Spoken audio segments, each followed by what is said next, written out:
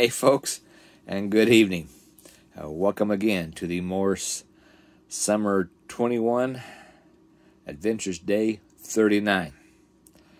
Beautiful day. Beautiful day. We spent uh, about four hours on the road, two there and two back. Uh, not in the RV, but in the in the Toad, in our little Jeep.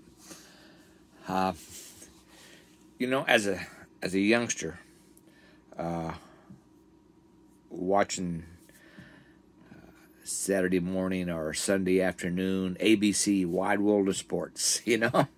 Um, I saw this place, and as a kid playing baseball, wanted to go there. As an adult coaching the little ones, wanted to go there. Never made it. My team never made it down to the local. Uh, the teams that I coached in the little league um, were usually, well, they weren't usually, they were the uh, cast-offs. They were the ones that nobody else really wanted on their team. Okay, but we had fun. It was, it was like Sandlot. Okay, only we weren't successful like they were. but our kids had fun, and they knew they were loved, and they learned the game uh, the right way.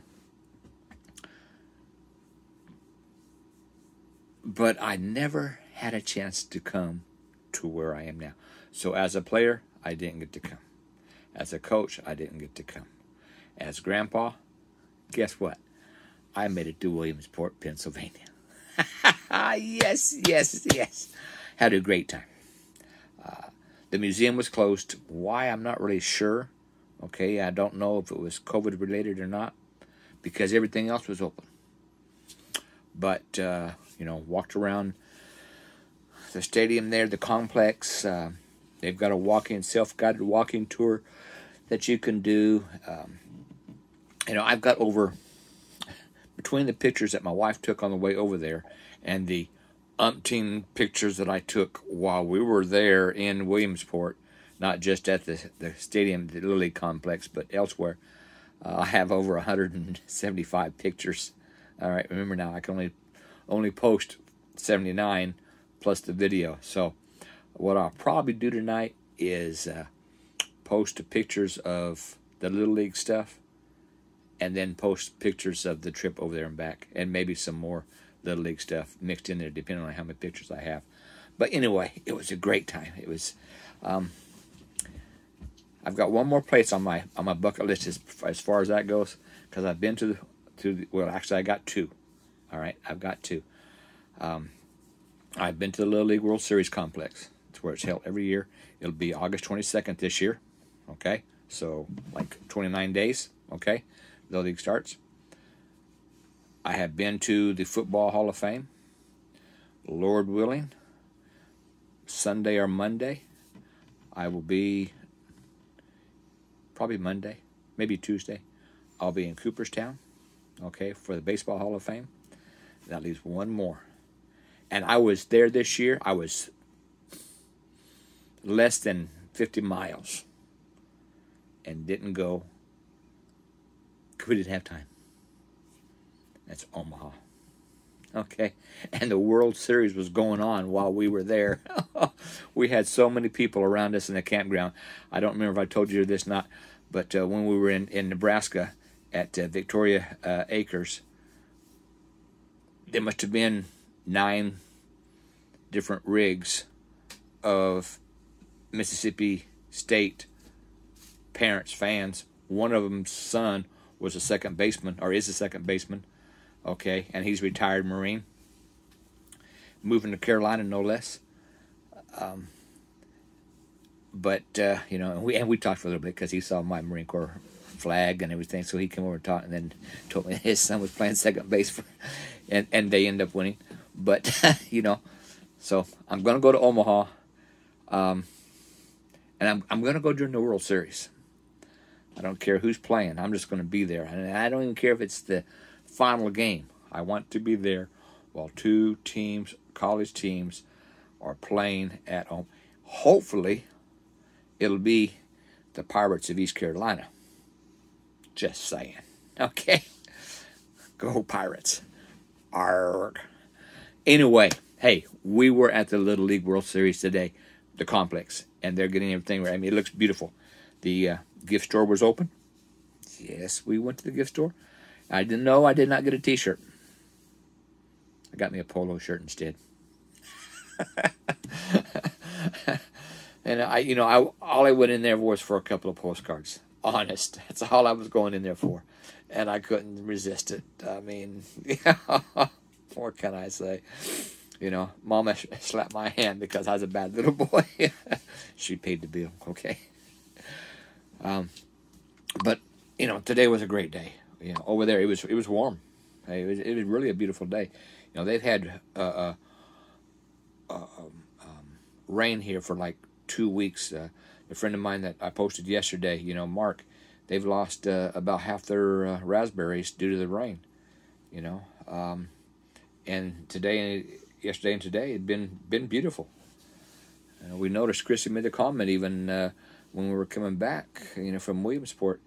You know, everybody was out mowing their yard, and it's probably because it's the first chance they've had in two weeks to get out there and get their yards mowed. But it was good. It was a good day, good travel. And that little old Jeep, it just kept on going, you know.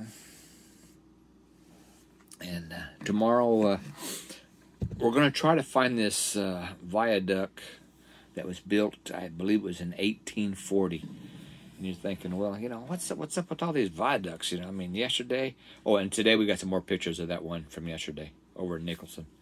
Uh, oh, wow and it's not that I'm really all that, but you know, these are two structures, one built in, in from 1912 to 1915. It was dedicated in 1915. Construction started in 1912, so it was basically built um, during World War One. The other one that we're hoping to see tomorrow was built in 1840.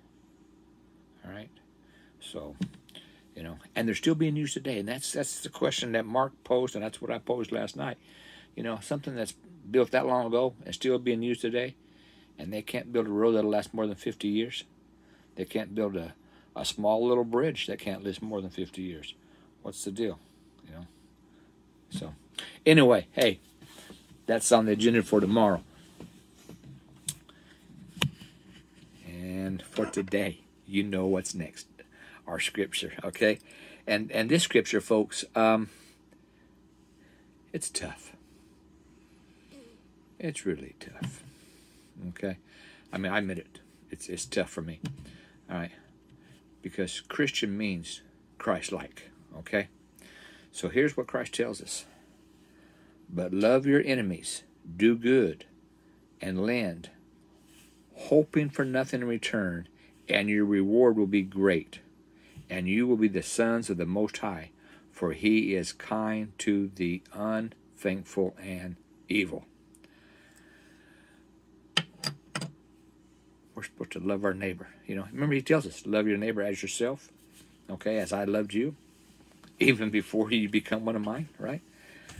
But love your love your enemies, do good, and lend, hoping for nothing in return. I've got no problem with that. Okay, I don't like the limelight. I don't like to be recognized for that good and that lending hand and stuff. That's I mean, if you want, to, yeah, okay, I'll take the praise. All right. But I don't do it hoping for praise, hoping for recognition, because I know the Lord sees what I'm doing and my reward is going to be in heaven, whether I'm rewarded here or not. You know? And and and and Chrissy is the same way. You know, we we do things within the church that and and and and for people that we would just soon just just do it and let it go without being, you know, but some people won't let it go and they have to make you know make sure that we are, are recognized. And that's that's fine. That's for them. That's for them. Okay? Because christy and i both know ours is going to be in heaven. All right? You know so do good and lend hoping for nothing in return. And your reward will be great. Yes i know it will be because i'll be in hell in the streets of glory and he'll be and you will be the sons of the most high for he is kind to the unthankful and the evil. And that's what i have a problem with. You know Love your enemies and then be kind to the unthankful and evil. Jerry just raises up and gets that ugly thought, you know, and it's like, mm, you know, it ain't a good thing. It ain't a good thing. But as being a Christian, remember, say Christ like, you know, we are to strive to do that. It doesn't mean they're always going to be successful, but we're to, supposed to strive to do that. You know, the best way is to pray. Say, Lord, give me the strength. Holy Spirit, guide me. Help me because you know it ain't in me. It's got to be in God. It's got to be in Christ. So help me do this. And then you can get away with it. I mean, get away with it. Yeah, you can get through it. You can get over yourself, and it can be done. All right, that's that's what I mean. You can get over yourself. Um, you know, but love your enemies, do good, lend, and hoping for nothing in return. And your reward will be great and you will be sons of the Most High, for he is kind to the unthankful and the evil. That's a mouthful, folks. I'm telling you. That is, for he is kind to the unthankful and the evil. That is a mouthful. You know, just think about what's going on in the world today. Okay, I ain't talking about just the United States. I'm talking about, you know, look at the Christians in in in in uh, Nigeria and Ethiopia. You know uh, that uh, Boga, whatever it is, is Muslim group that's that's you know taking captive all the young Christian girls and killing the the men and that uh, you know and and just doing horrendous things to them you know because they're because they're Christians you know um, here in America you know if if if you claim Jesus Christ some people just lose their mind because you don't agree with their whatever, okay? I ain't got to agree with it, you know. I got to love them as the individual, not their deeds, not their lifestyle, but love them because Christ said to, and let God deal with them. I ain't got to deal with them. All right. I I have friends that that are of a lifestyle that I do not approve of, but they're my friends, and I love them as individuals. Okay? And I don't condemn them, I don't judge them, I don't get all in their face about it. All right? That's not my job. That's the Holy Spirit's job. Okay? To convict them. All right? My job is to show them the love of Jesus Christ and accept them for who they are. Okay? I can do that. Now, somebody who's really mean and ugly, uh, that's where I have a problem. Lord Jesus, help me. Hey, folks, uh, I'm getting notices here on my phone, so I'm going to have to get it on the charge. Uh, God bless y'all, and we will come to you again tomorrow from right here. Uh, we're in the uh, uh, Shady Rest Campground in Uniondale, Pennsylvania, just south of uh, Gibson. and two hours and 15 minutes east of Williamsport. God bless you. We'll see you tomorrow. Good night.